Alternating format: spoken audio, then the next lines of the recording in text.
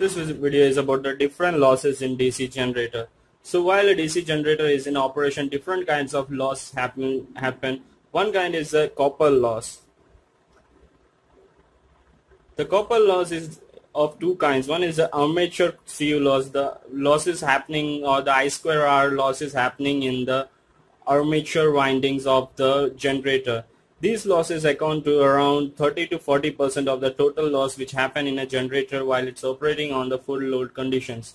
While the other lo other loss which happen is the field copper losses. These losses happen are the I square R loss or the CU losses happening in the field winding and these account to around 20 to 30 percent of the total losses.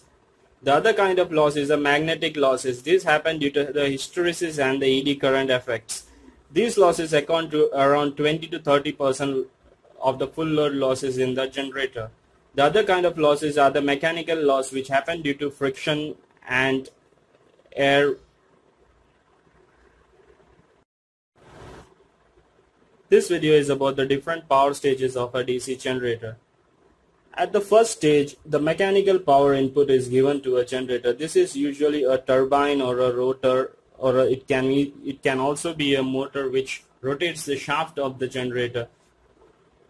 As the shaft of the generator rotates, there occurs a magnetic and the friction losses which the generator has to go into.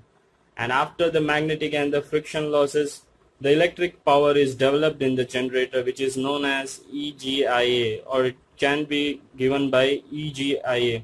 IA is the current which flows in the armature windings.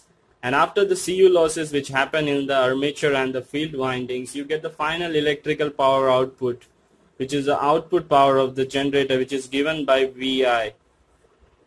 I is the load current and V is the terminal voltage which is available across the load and this gives the power output in watts of the generator.